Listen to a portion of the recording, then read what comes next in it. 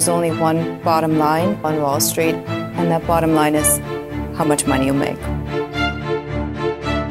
Whatever your background was, it's can you make money? Can you contribute to profitable ideas?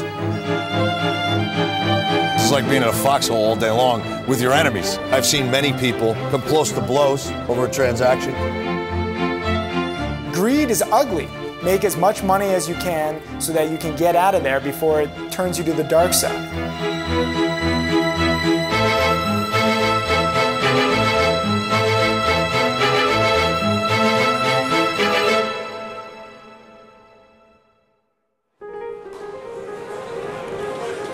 Do you want me to buy it on a straight plus tick or a zero plus tick? It's a public offer, it's not me. Okay? So stop pulling my chain. Weren't around, who would I make fun of? Well, I need you. you need me. Hey, heard You think it's easy to make money in this business? there, there is no limit for you, huh? What do you need? Uh, 90 bid, 10 thou. Sold. What am I taking? BK. How you spell that? You're a very funny guy. I try my best. I think Wall Street gets a bad name. I think people think that it's a bunch of stuffed shirts with master's degrees in finance and MBAs from Wharton and Harvard, and forget about it. I mean, there are real people down here with real emotions and real passion. Floor traders, basically, they, usually have some kind of headpiece on, like I do. So the earpiece is just to communicate with my booth to let them know what's what I'm doing or what I should be doing. That's the mind behind the puppet. That's the one that's pulling my strings, basically. Those are mostly option booths right there. All the way at the top in the middle, that's an equity firm. And then South Balcony, that one is an equity and option firm. It does both. When uh, they call me with my orders, they tell me what I'm getting, comes through my handheld, electronic device that I have, and I run around executing orders. Sometimes I have to leave them with the specialists who watch it for me because I have so many that I have to do. Timmy, yeah. SEA, can I check it again, please? SEA, yes, sir. Thank you very much. Got two to buy. I got another two to buy here, and sell 1561 Apex. Thank you, sir. You're welcome. Party on.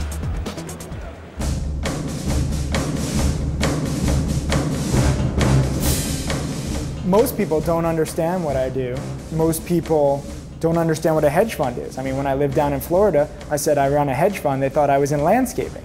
You know, that's not even a joke. Traders, we're, we're trying to uh, figure out the future. I mean, this is the, the last uh, undiscovered mystery on earth. Traders are no better than 100 years ago.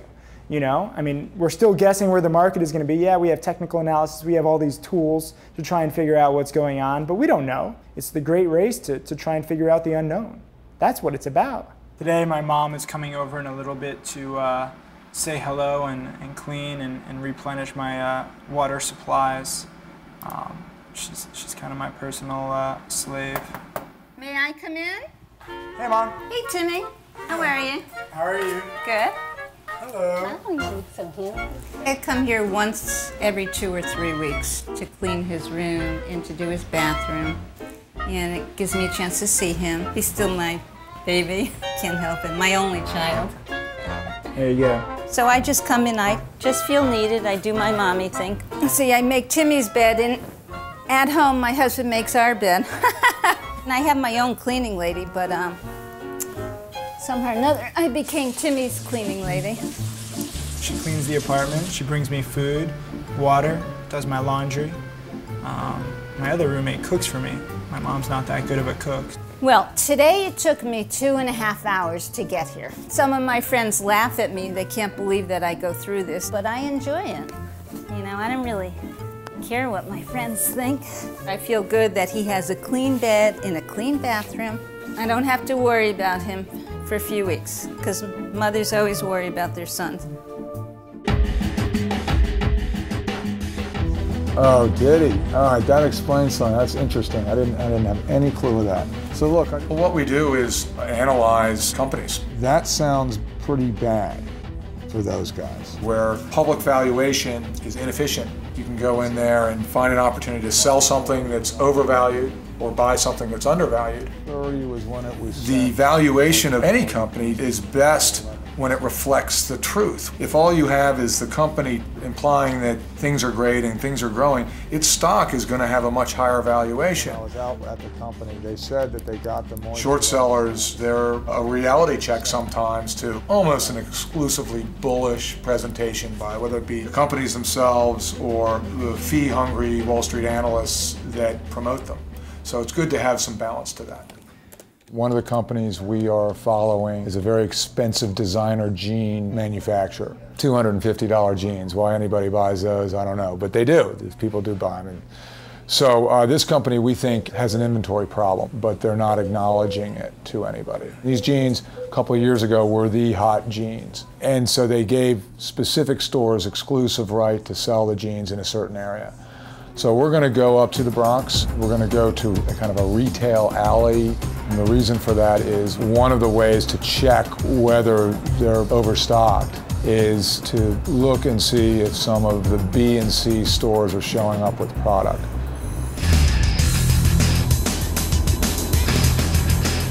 You're the person that we want out there. You know the difference between a good product and a bad product, and you're going to bring them in and get them right where you want them to be. That's your strength.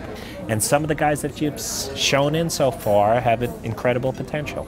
We want a guy that's young, aggressive, hungry, smart, and that hasn't lived through some of the market cycles that people over 30 have lived through. Why do you think that's important? Because they don't have any prejudices. We'd like to talk to anybody that feels they have a distinct edge in any kind of a market, whatever they base it on. Whether they base it on migratory routes of elephants, that a legendary trader who's attracted legendary investors uh, developed a program on. Say that again. What did he do? He developed a trading program based on migratory routes of elephants in Africa. What does that have to do with anything? There's, believe it or not, there's a pattern behind how they do what they do and where they go. And he found stocks that tend to follow that pattern. And if he decides if the elephant goes too far to the right and it needs to come back to the left, he'll buy or sell a stock Are based on the, those patterns. Absolutely. It's true, it's incredible. I thought you were kidding. What it is is markets trend. If you could identify that trend and stay with that trend until that trend changes, you could make an awful lot of money. I need a drink.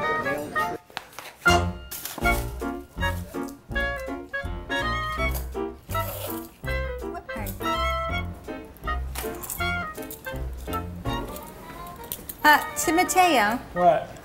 what the hell are these handcuffs doing here? You shut up. I am losing money. I won them at Dave and Buster's. Go away. Oh, Leave me alone.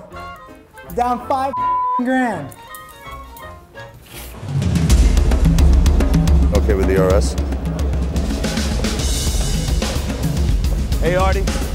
You on top of that ERS of the Midwest? There's a whole different language that's spoken on a trading floor. And everyone knows the language. Okay. Homie, what's here? And don't lie to me.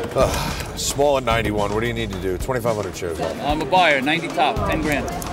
I don't own it there, It's 90 a bid. minus tick, offered at one. There are correct ways to bid for a stock. There's correct ways to offer or sell a stock. And if you don't do it the right way, the person's not going to know what you're talking about. Can't sell it at 90 here. All right, I'll buy the stock away at 90, All right, and then I'll pay 91 for 7,000. sold. What do I take? 3,090 is, a, uh, is ATS, Uh, 91 stocks BK. how you spell that? No. It was old the 30th time you said it, But okay? It's still funny. Yeah, you can drop it. Thank you. You're welcome. love it. The Gecko. It's a blue shirt with a white collar, as popularized by Michael Douglas's character Gordon Gekko in the movie Wall Street. They go in and out of style, but everybody's got one in the back of their closet. As in, hey man, you gonna wear your gecko? We want you to be out there, get in sync with the investment community, and you are. You want to get that rhythm, you're nailing that rhythm, and you're going to bring us some of the biggest investors and some of the biggest managers on the planet because they're attracted to you naturally. And after the initial attraction, you have the follow through, so it just gets done. Everybody's going to listen to you, so it's your platform, I mean, you can do anything that you want to do. And, and the good thing about you is you don't take advantage of it. You don't know it is the good thing. No, I don't. So, I mean, that's a great thing. That's a gift. Forgetting about business, your biggest challenge is going to be to fend off the wedding proposal.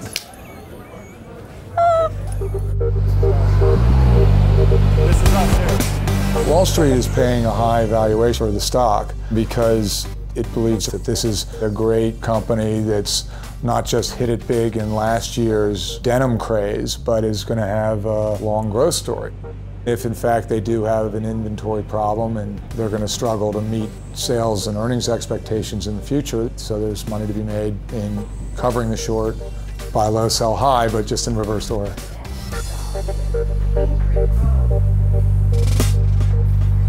Yeah,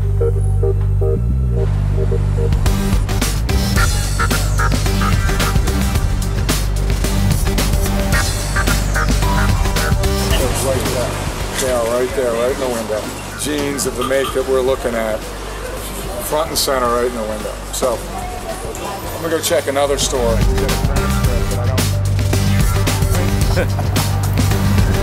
yeah, they got them. Guys are moving product through channels that they initially didn't intend to. The only conclusion I can come up with is because they have excess product and they're trying to get it out the door so they can book it as revenues and earnings. This is supposed to be an exclusive, highly demanded brand that has cachet. They must have had several hundred jeans in there. And that's just what's on display. Jeans and fashion are, are fads. And so the market shouldn't pay massive multiples for today's hip jean company. This was just a little piece of the puzzle that says this, the, the world is flooded with these $300 jeans, and we just saw, you know, one example of that. Well, I work out of my apartment because I'm a cheap Jew. I can say that I am Jewish. People say, get an office and we'll give you money. And I say, no, give me money and then I'll get an office. Make it worth my while. I mean, this is a tax deduction. Timmy never ceases to amaze me, okay? And he's always been like this. I think he received about 12 or 13,000 from his bar mitzvah. I don't remember the exact amount, but I know he turned it into 900,000, maybe a million. I have complete confidence in Timmy. Not just because I'm his mother, and I'm not just saying that because I'm his mother. I'm not just saying that because I'm his mother. I don't think you'll ever lose money. Right, I believe you. You don't think I'll ever lose money? Well, you're going to lose money, but you're all also, I mean, everyone loses money at some point in their life, but you're never going But you're not saying this just because you're my mother. No. Shut up. You gonna hit me? You gonna hit me on camera? Bring back my childhood? Oh, right. I was an abusive mother. I'm glad you can finally admit it. Thank you. Abused child. Now let's laugh about it. Can't see the scars. They're buried in my heart, you bitch. He's got a great sense of humor. Okay, he always he's always made people laugh. But Timmy's highly intelligent. I feel very grateful that at a young age he found what he wanted to do. He has his identity. You know, he knows what he's doing and he loves what he does. Okay, Timmy, I'm leaving. All right, one sec. I'm in the middle of a trade. Okay.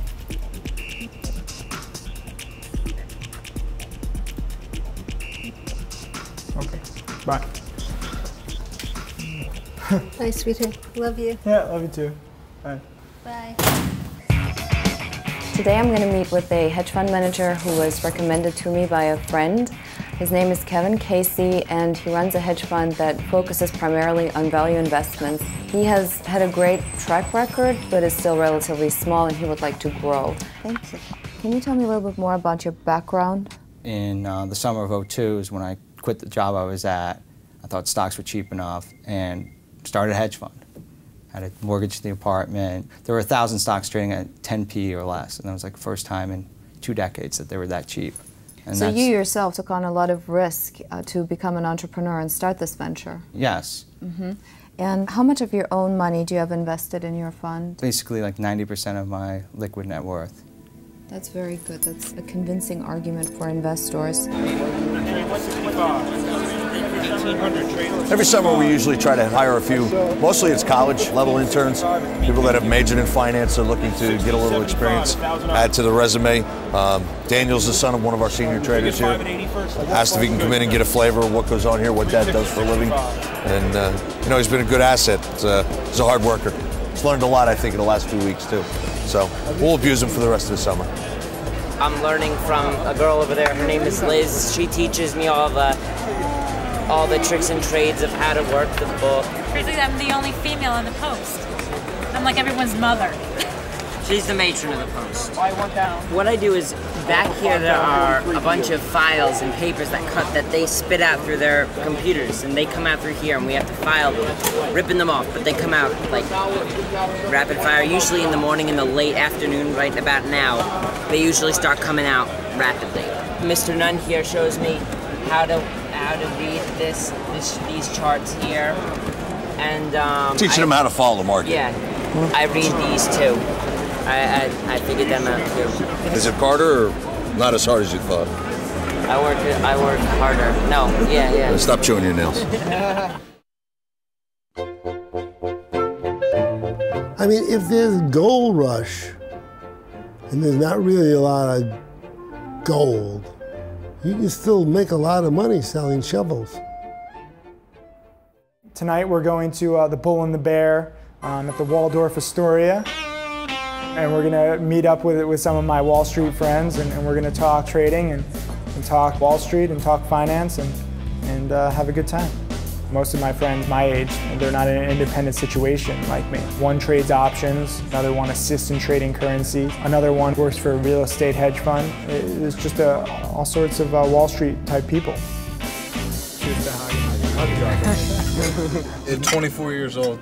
They hire young kids because we're cheap and we We're work cheaper, harder than you know? everybody else. Exactly, who- we have to. I don't have a wife and kids to go home to at six o'clock at night. I get I can stay in the office and work if I have to. One of the few jobs where you have to stay up to date on things, otherwise you're out of the game. And it's also competitive. That's another thing. That's what I like about it the best.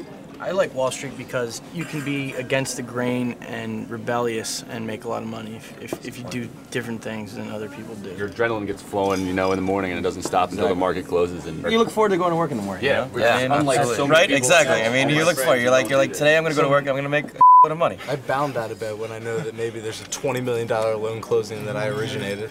I mean, you can't complain. Life is good. Life is definitely good. You know what? The bad days are better than the good days. The good days, you're worried about losing what you just made. The bad days, you're like, "Uh, my stock got cheaper. I'm, you know what I mean? That's the way I look at it. Well, you you also use a little bit of emotion over time. You know, fifty thousand dollar update. I used to I'd take three laps Exactly. Around the the campus naked. You know, I'd be pumped up. Now fifty thousand dollars, it's a good day, but it's it's all right. It's, It's nothing just a great. day. It's not your year. It's just a day. It's not like you're or fifty thousand dollars down. It's it's bad, but it's not a, a deal breaker. If I had a million dollar up day or a million dollar down day, then talk to me then.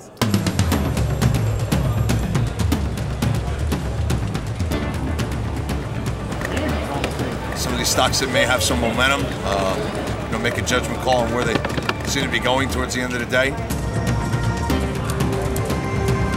Part of the service that a broker pres- provides that a machine does not is information. So that's why some people prefer to use a broker. They get they get a feel for the marketplace, what's going on. Your partner said this morning we were splitting stock. Do you want me to buy it on a straight plus tick or zero I- I plastic? thousand trades Okay, well then, I don't know. Being it would be ask the geniuses in the booth what, what would they like me to do with it. When there's a transaction that takes place, we don't whip a contract out of our pocket and sign it. We don't shake hands even. It's done on a verbal agreement. Last 18, I can't buy it on a straight plus. Sorry, out of luck. Out of luck. Next. This is my job having to put Next. with Yeah, that, your job is to stand here and find out a way for us to buy you lunch every day. That's your job. You didn't buy lunch In the middle of executing orders. You didn't buy me lunch today. One They're all this week. friendly. They're all nice to each other. they just they just bust each other's chops. That's all. Ask me what they would like me to do. And who's the 19 offer now? It's hundred shares. I am not going to. into the five grand machine. Oh, I'm, I'm, I'm, I'm showing stock behind it. You're in liquidity to. That's my job. You got upset when there was a one lot there. I- now you get upset when there's 5,000 shares there. I'm not upset. Come back to me and tell me what you care. Ask the questions. Come back to me and tell me what it is you want me to do. Ask the brain trust in the booth. Get a real dealer over here. Okay. All right. Well, in the meantime, you've done nothing. Instead of the imposter. In the meantime, you've done nothing. I'm just pretty. Ask the brain trust in the booth what they want us to do. Take me out of 20. Take, how about we take you out to dinner first? If you work on Wall Street, it, it comes down to what you're all about. I would absolutely recommend it if you're the right personality. Good night, man. Nice job there. Three days from now, I have a meeting with a fund of funds. I met with them six months ago. Never heard anything back from them. Thought I did horribly. They called me up the other day saying, "We're still following you. We love your strategy. We love your fund. We're thinking about uh, giving you two and a half to three million. Uh, come in on Monday. Talk to us. Let us know um, how's it going." Out of the blue. So all my work, you know, you don't think it's paying off. You don't think anyone's paying attention. Out of the blue, someone comes and you could just double the size of your fund. Doesn't it feel like a lot of times as soon as you're about to, to give up, you make money or, or you have a good Yes. opportunity? It's like hooking up with girls. When you're not It's looking for true. it, it just happens.